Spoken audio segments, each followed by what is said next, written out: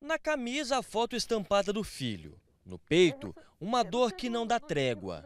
Tem gente que costuma dizer que o, o tempo cura a dor, mas com essa impunidade, o tempo curou a sua dor? Não, não. Continua doendo do mesmo jeito. Eu sempre segui a carreira de músico. E eu sempre falava pra ele que eu ia vestir um dia a camiseta pra ver ele tocar. Agora eu vejo eu vestido nessa camiseta, escrita Descanse em paz, meu filho.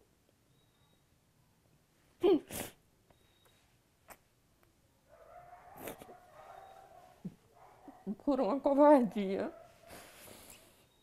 de uma pessoa que não sabe se divertir. Há dois anos, a dona Odineia convive com a angústia de perder um filho assassinado de forma violenta.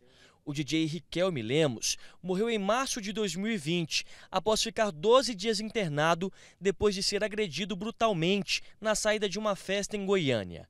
Imagens de um circuito de segurança registraram o momento em que, ao separar uma briga, o rapaz é atingido com um chute na cabeça. O agressor é Lucas Vieira, de 24 anos, lutador profissional de taekwondo.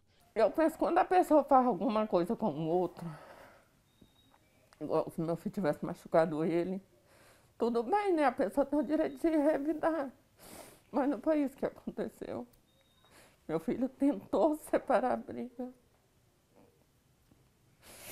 Ele era tão da paz.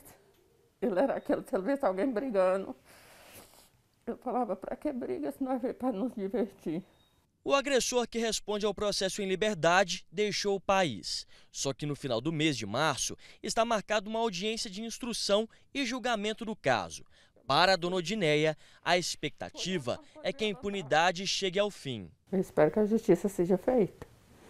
Eu espero que ele pague pelo que ele fez. Mesmo após dois anos, o quarto do Riquelme continua intacto aqui na casa dele. A mãe, a dona Odineia, deixou tudo do mesmo jeitinho. A camisa que ele iria utilizar no próximo evento ainda continua aqui. A garrafinha de água que ele encheu. E aqui ao lado da cama, um livro. Dona Odineia, a senhora teve a curiosidade de abrir esse livro agora, bem na página que ele estava lendo, né?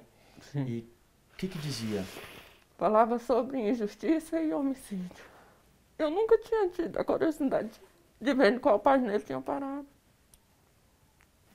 E a senhora mantém esse quarto intacto e a senhora só vai conseguir tocar depois que a justiça for feita? Sim, eu acredito que sim.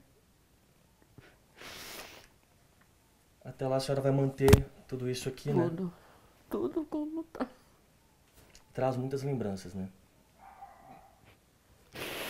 Eu entro aqui a mesma quando eu vejo ele ali. Mexendo. Fazendo as músicas que ele gostava. Não tem como eu tirar isso.